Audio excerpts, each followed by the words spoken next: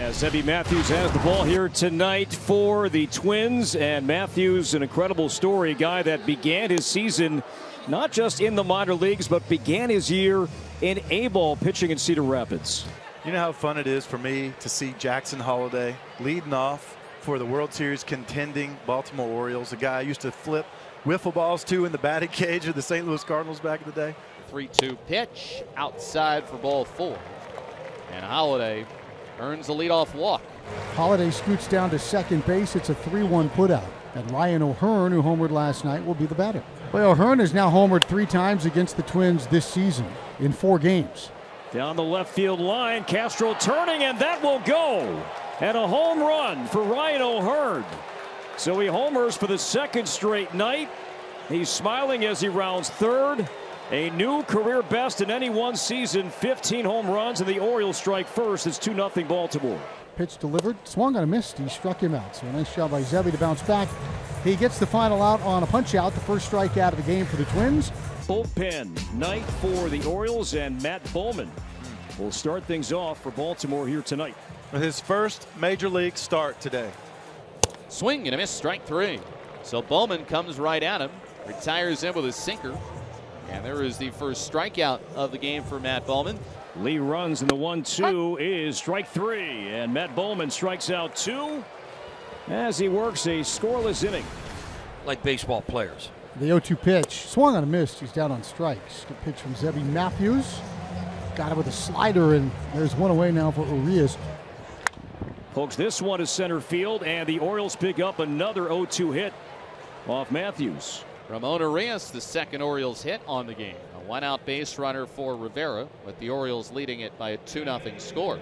Boy, did Rivera take advantage of an opportunity with Urias out at third and Ryan Mountcastle out at first base. This guy saw playing time and made the most of it.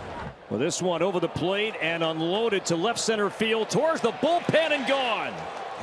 Long home run for Emmanuel Rivera, his third, and it's 4 0 Baltimore. Center cut, though, thigh high. That's where baseballs go to die right there, buddy. Back to back walks here for Matthews. He has allowed the last four to reach after he struck out Kjerstad on three pitches to begin the inning. Two run inning for the Orioles after Rivera's homer. They lead it four to nothing.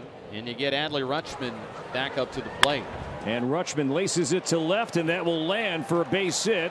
And a late break from Austin Slater. He will score as he runs into Matthews. Holliday stopping at third. It's 5 0 Baltimore on an Adley Rutschman RBI single with a left wrist sprain. And Matthews, there's the cutter. You like that pitch. Fourth I like strikeout it. for Zebby. Ahead 0 2. Kjerstad with two Ks. Down he goes swinging. It's another strikeout for Zebby Matthews.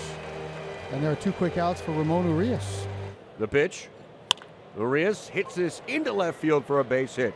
Ramon, two for two. And here's Emmanuel Rivera. Rivera, a long home run his last time up, and this one in the same spot in the alley, left center field, and that one is off the wall. Big bounce back into center field. Urias around third. He will score. Rivera is two for two. He's knocked in three. It is 6 nothing Orioles. Rutschman leads off the Orioles fourth as the Twins make a pitching change, and Louie Varland, born in St. Paul, takes over for the Twins here in the fourth inning. As Rutschman to left center field, that will slice in the alley and get down. So Rutschman on his way to second base. He's two for three tonight, an opposite field double to begin the Orioles fourth. It's a bloop base hit off the bat of Ryan O'Hearn. It disappeared on us as Farmer tried to make a behind the back catch. And then it must have been in and out of the mitt. But he could not corral it. So first and third with one out after a bloop base hit by Ryan O'Hearn. Here's Mountcastle. Hit hard to center. Martin with the play. He'll make the catch. Rutschman will tag and score. It is 7 0 Baltimore. Pulls this one up the middle. Urias will backhand and made a good play against a fast runner. Uh, Urias with an amazing play up the middle. Gold Glover up the middle right there, and that's why. And here is Emmanuel Rivera. Two run homer in the second, double RBI in the third. Another rocket left center field. Rivera towards the bullpen and gone. Man, is he locked in tonight. Three for three, two homers. He's knocked in four, and Rivera and the Orioles are clobbering Minnesota. It is 8 0 here in the fifth. And as the ball landed in the bullpen, Cionel Perez, that's a skill with the hat, something he has done many times over the years, adds to the collection. That will be a base hit. First and second with just one away. This one poked to shallow right. And coming in is Santander with a sliding catch on a double play.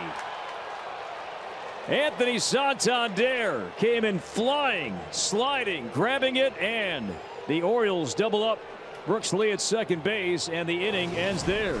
Welcome back to the Emmanuel Rivera Show.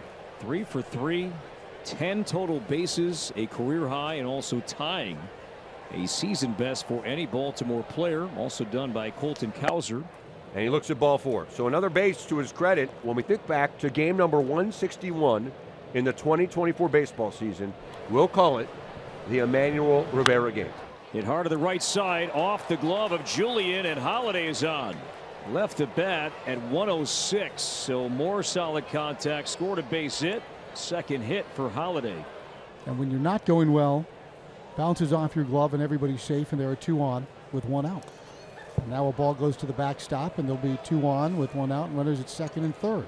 So it's a wild pitch. Adley ground ball right side. It's gobbled up by Julien. He spins, fires to first. It's in time, but Rivera scores. More hard contact from Rutschman. And now it's 9 0 Baltimore after that RBI ground out by Adley, and Holliday gets to third base.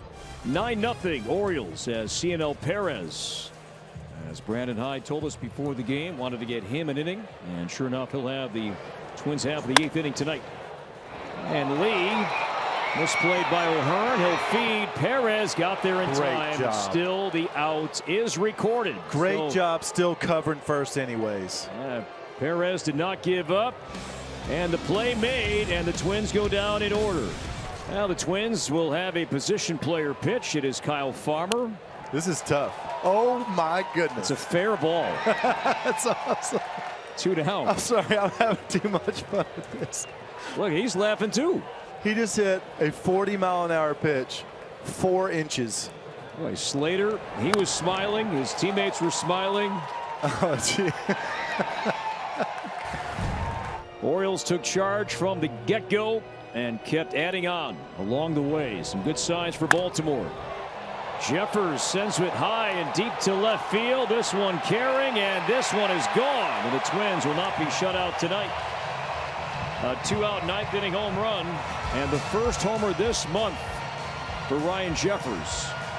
No balls and two strikes on Kyle Farmer. And this one's over. And the Orioles, a 90 win team with one more left to play, beat the Twins 9 2 and go for the sweep here tomorrow.